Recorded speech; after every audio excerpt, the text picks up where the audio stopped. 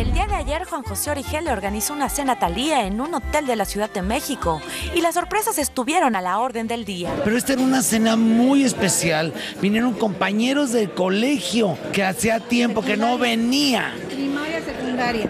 O sea, desde Benny Ibarra tenía 14 años. eh, 14 años de no verla. O sea, fue una cena realmente conmovedora de, de ella escogió quién viniera en la cena. ¿eh? La cantante, quien estaba ansiosa por recordar viejos tiempos, llegó a la cita en compañía de sus hermanas Ernestina y Gabriela y de su mamá, doña Yolanda.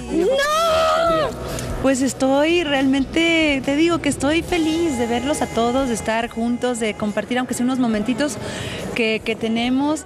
El primero en pasar lista fue Ben Ibarra en compañía de su esposa y no pudo ocultar su emoción. Pues bastante impactado porque hace 15 años que no nos veíamos. Y, y ahorita nos dimos cuenta que el tiempo pasa así bastante rápido, entonces pues... eh, y que la, en la vida hemos compartido cosas bien especiales. La que sorprendió a todos fue Sabina Musier, pues después de varios meses de ausencia por la enfermedad que padece, se dejó ver y es que reveló que la intérprete ha sido un gran apoyo en su recuperación. Ha sido una reina conmigo. eh, cuando salió la entrevista eh, hace unos, bueno, semanas, me habló la mamá de Talía y me dijo, no, lo que tú tienes es Lyme. Y me, me recomendó una doctora que, que estuvo asesorando también a Tali. Ella eh, y yo hablamos por teléfono, me dio muchas recomendaciones, me ayuda muchísimo. Quien no podía faltar a la reunión fue Itati Cantoral y aprovechó el momento para declararse fan de su comadre.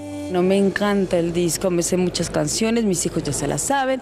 Compré el, bueno, el disco con el DVD y lo tengo en el carro de ustedes. Chantal Andere, quien mantiene una amistad con la ex Timbiriche desde que trabajaron juntas en la telenovela Marimar, comentó que ahora comparten consejos para cuidar a sus hijas. Ya nos hemos echado muchos consejos por teléfono, pero bueno, qué lindo verla en persona y me da mucho gusto estar aquí con ella. La que estuvo en la velada solo unos minutos fue Yolanda Andrade. Es que siempre platicamos, siempre hablamos, siempre hablamos por teléfono y todo. Y este me da mucho orgullo que, que pues esté realizada como madre. Otros invitados fueron Nicandro Díaz, Salvador Mejía y Pedro Torres. Este último le ofreció a la también actriz una participación en la serie Mujeres Asesinas. Estamos en plática, estamos en plática.